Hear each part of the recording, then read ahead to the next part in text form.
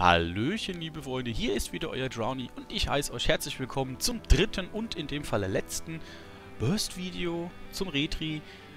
Wir sind beim letzten angekommen, das ist, sind, das, ist das Talent Mächtige Siegel. Das ist am, der, äh, ja, wie beschreibe ich es denn, am schwierigst zu spielende Burst, weil man muss hier ziemlich viel aufbauen. Und zwar geht es ja da Art ähm, Mächtige Siegel, den Vorteil, jedes Siegel, also jedes Siegel macht einen Buff, äh, äh, gibt uns, gewährt uns einen Buff, so ist es richtig. Jedes Siegel gewährt uns einen Buff, wenn, nachdem wir ein Richterteil benutzt haben. Das sind passive Boni, äh, passive Buffs, die nicht, äh, die halt auslaufen nach einer Zeit. Ja? Aber wir haben es ja, die kann keiner was dagegen tun, die haben wir dann einfach.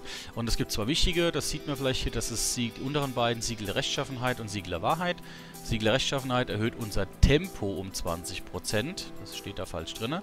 Äh, und Siegel, äh, Richturteil der Wahrheit, so rum, erhöht unsere, unsere Angriffskraft, also unsere AP, die Attack Power, um 15%. Und diese beiden Buffs hält man aufrecht. Äh, weil natürlich klar, schneller zuhauen und so weiter, ne? mehr Angriffskraft, mehr Schaden und so weiter. Ähm, das ist am schwierigsten eigentlich zu spielen, weil man muss es halt aufbauen. Wobei mit Übung ist das auch nicht schwer. Ich gehe mal zur Seite, weil ich das Makro habe. Ähm, das Makro dazu ist eigentlich auch das Einfache. Hier, zornige Vergeltung, heiliger Rächer, Hammer des Zorns. Äh, den Hammer des Zorns, wie gesagt, immer gleich drin, weil äh, die Burst-CDs brauchen kein Global. Man schmeißt direkt den Hammer, hat drei heilige Macht, kann dann gleich ein Urteil machen und so weiter und so fort.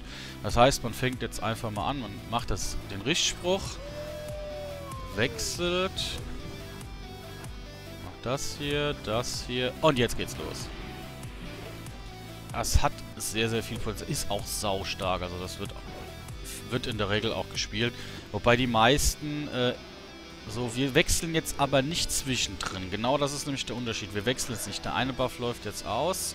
Jetzt holen wir den mal nach ist etwas schwieriger zu spielen, weil die beiden Buffs werden, also die beiden Buffs werden definitiv auslaufen. Weil normalerweise, ich habe jetzt am Ende sogar einen Fehler gemacht, ich habe ein Richturteil genutzt, normalerweise nimmt man den Kreuzfahrerstoß, weil der macht mehr Schaden, weil die Mastery prockt. Ist zwar physischer Schaden, aber durch den Mastery Proc macht es mehr Schaden als das Richturteil. So, ja, okay, durch den Dot reduziert sich jetzt natürlich ähm, die DPS. Ähm, Nochmal wie jedes Mal der Hinweis, die Puppen hier haben keine Vielseitigkeit, die bekommen die kritischen Treffer an der Puppe machen 200% Schaden. Im PvP sind es nur 150, also muss das immer ein bisschen relativiert werden.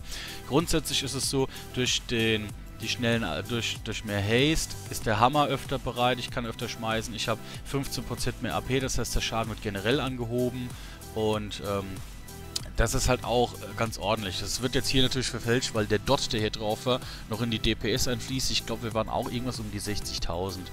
Ja, also die, ähm, es ist halt so, dass die äh, auf den US-Servern spielen sehr viele Retries, ich glaube sogar die meisten spielen so, beziehungsweise also mit mächtig Siegel, heiliger Rächer oder geweihter Zorn. Göttliche, Bestimm göttliche, Bestimmung wird nicht genommen, weil es ist nicht äh, auf Benutzen oder Pass. Es ist zwar passiv, aber es ist halt proc-basierend, das heißt Zufall.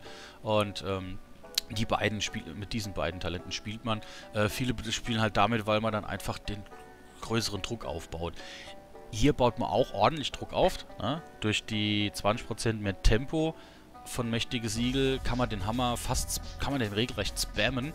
Ähm, Problem ist aber dann halt auch, man muss den Hammer bei 3 Sekunden haben. So. Äh, oder bei 1,5 Sekunden, weil das Problem ist, wenn ich ihn bei 2,62 Sekunden habe, äh, schmeißt den Hammer, haben Global und dann ne, kommt man so ein bisschen in Clinch, weil dann ist er noch nicht bereit. Da muss man eine andere Fähigkeit benutzen und dann kommt man so ein bisschen durcheinander und verliert eigentlich DPS. Und dann benutzt man eher den heiligen Rechner, Rächer, weil er allgemein alles macht mehr Damage im Prinzip und ja, Instant 3 heilige Macht. Man kann die ganze Zeit halt richtig Schaden raushauen. Wie gesagt, hier ein bisschen verfälscht, aber es ist grundsätzlich sehr, sehr stark. Ja, in diesem Sinne, das war's auch schon. Die Serie ist damit auch sogar vorbei. Kurz und schmerzlos. Ähm, wenn natürlich was sein soll, wenn Fragen sind, ab damit in die Kommentare oder auf Twitter. Ähm, ich sage danke fürs Zuschauen und wir sehen uns dann beim nächsten Video. Tschüss.